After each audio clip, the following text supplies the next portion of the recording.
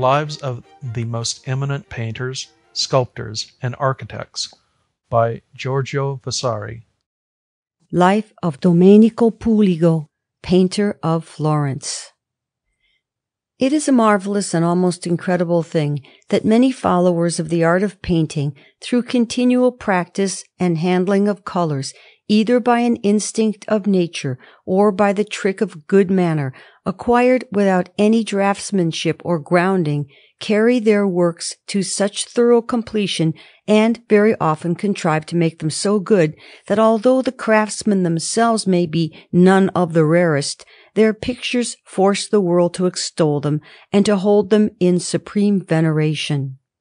And it has been perceived in the past from many examples, and in many of our painters, that the most vivacious and perfect works are produced by those who have a beautiful manner from nature, although they must exercise it with continual study and labor. Well, this gift of nature has such power that even if they neglect or abandon the studies of art and pay attention to nothing save the mere practice of painting and of handling colors with the grace infused in them by nature, at the first glance their works have the appearance of displaying all the excellent and marvellous qualities that are wont to appear after a close inspection in the works of those masters whom we hold to be the best.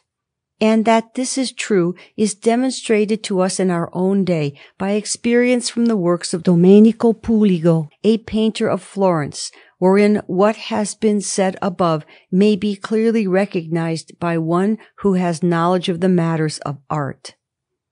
While Ridolfo, the son of Domenico Ghirlandajo, was executing a number of works in painting at Florence, as will be related, he followed his father's habit of always keeping many young men painting in his workshop, which was the reason that not a few of them, through competing one with another, became very good masters, some at making portraits from life, some at working in fresco, others in distemper, and others at painting readily on cloth.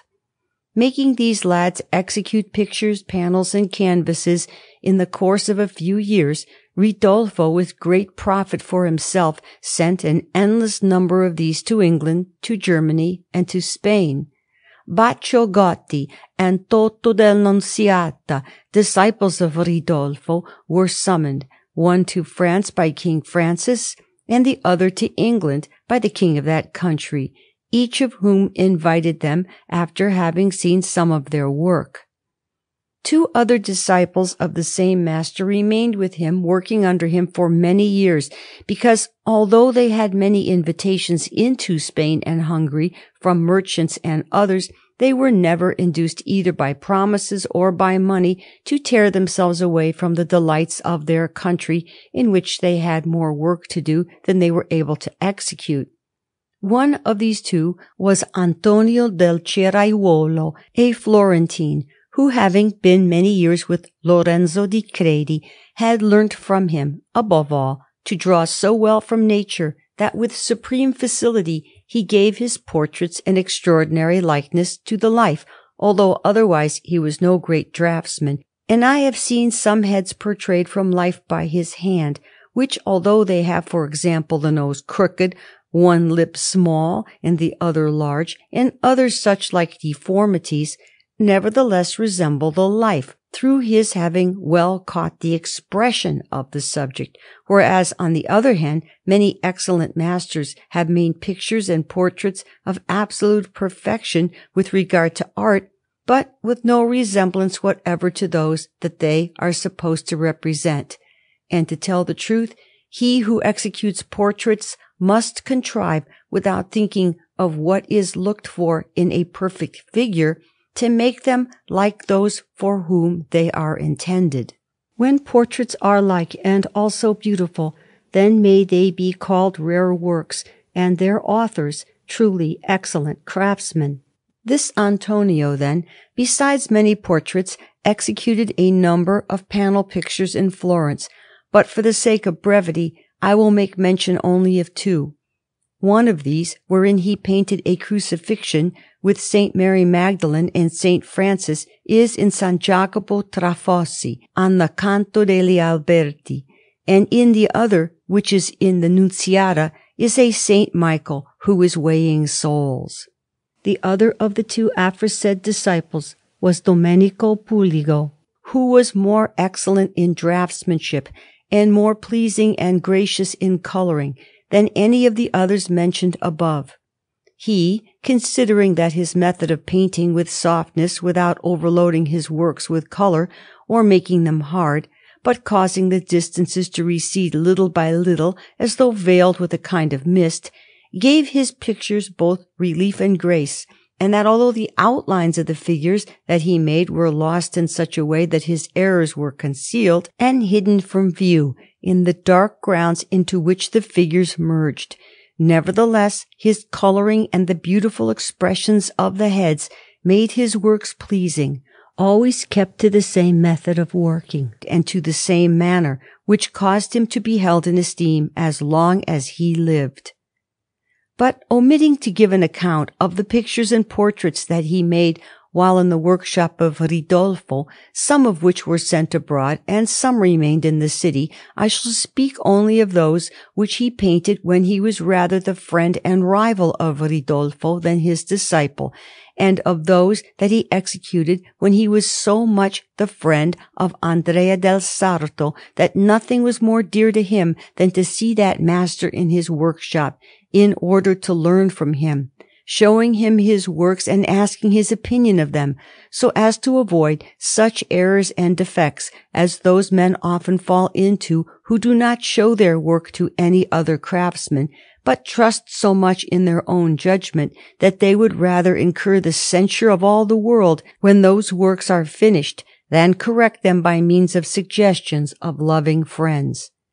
One of the first things that Domenico executed was a very beautiful picture of Our Lady for Messer Agnolo della Stufa, who has it in his abbey of Capalona in the district of Arezzo, and holds it very dear for the great diligence of its execution and the beauty of its colouring. He painted another picture of Our Lady, no less beautiful than that one, for Messer Agnolo Niccolini, now Archbishop of Pisa and a Cardinal who keeps it in his house on the Canto dei Pazzi in Florence, and likewise another of equal size and excellence, which is now in the possession of Filippo del Antella at Florence. In another, which is about three braccia in height, Domenico made a full-length Madonna with the child between her knees, a little Saint John, and another head, and this picture, which is held to be one of the best works that he executed, since there is no sweeter colouring to be seen, is at the present day in the possession of Messer Filippo Spini, treasurer to the most illustrious Prince of Florence, and a gentleman of magnificent spirit who takes much delight in works of painting. Among other portraits that Domenico made from the life which are all beautiful and also good likenesses. The most beautiful is the one which he painted of Monsignore Messer Piero Carnesecchi, at that time a marvellously handsome youth, for whom he also made some other pictures, all very beautiful and executed with much diligence. In like manner he portrayed in a picture the Florentine Barbara, a famous and most lovely courtesan of that day, much beloved by many no less for her fine culture than for her beauty, and particularly because she was an excellent musician and sang divinely. But the best work that Domenico ever executed was a large picture wherein he made a life-size Madonna with some angels and little boys and a Saint Bernard who was writing, which picture is now in the hands of Giovanni Gualberto del Giocondo and of his brother Messer Nicolo, a canon of San Lorenzo in Florence. The same master made many other pictures which are dispersed among the houses of citizens, and in particular some wherein may be seen a half-length figure of Cleopatra, causing an asp to bite her on the breast, and others wherein is the Roman Lucretia killing herself with a dagger. There are also some very beautiful portraits from life and pictures by the same hand at the Porta a Pinti in the house of Giulio Scali, a man whose judgment is as fine in the matters of our arts as it is in those of every other most noble and most honorable profession.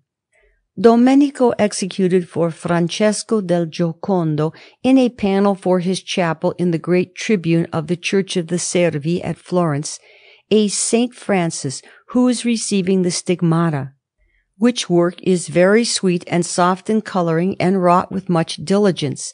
In the church of Cestello, round the tabernacle of the sacrament, he painted two angels in fresco, and on the panel of a chapel in the same church he made a Madonna with her son in her arms, St. John the Baptist, St. Bernard, and other saints. And since it appeared to the monks of the place that he had acquitted himself very well in those works, they caused him to paint in a cloister of their abbey of Settimo, without Florence, the visions of Count Ugo, who built seven abbeys.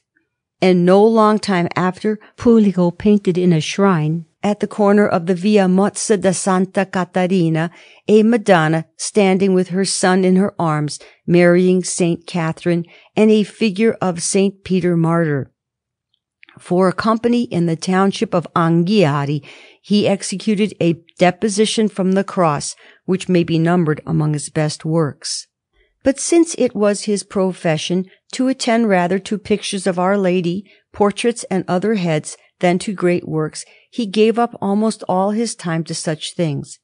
Now, if he had devoted himself not so much to the pleasures of the world as he did, and more to the labors of art, there is no doubt that he would have made great proficience in painting, and especially as Andrea del Sarto, who was much his friend, assisted him on many occasions, both with advice and with drawings, for which reason many of his works reveal a draughtsmanship as fine as the good and beautiful manner of the coloring. But the circumstance that Domenico was unwilling to endure such fatigue, and accustomed to labor rather in order to get through work and make money than for the sake of fame, prevented him from reaching a greater height. And thus, associating with gay spirits and lovers of good cheer, and with musicians and women, he died at the age of fifty-two in the year 1527 in the pursuit of a love affair having caught the plague at the house of his mistress. Color was handled by him in so good and harmonious a manner that it is for that reason rather than for any other that he deserves praise. Among his disciples was Domenico Beceri of Florence, who, giving a high finish to his coloring, executed his works in an excellent manner.